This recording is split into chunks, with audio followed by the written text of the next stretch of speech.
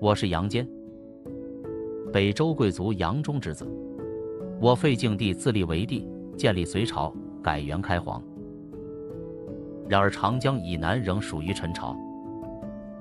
当时的陈后主荒淫误国，为了统一全国，以安民除暴为由，出兵讨伐陈朝。隋朝与陈朝相隔长江，长江水量浩大，最宽处可达一千七百多公尺，渡河攻击十分困难。我为了表达他征服南陈的决心，对臣怎么说？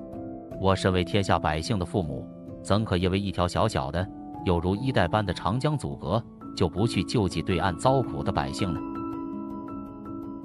开皇九年，陈朝被灭。终结了自东晋以来二百六十多年的分裂与战乱。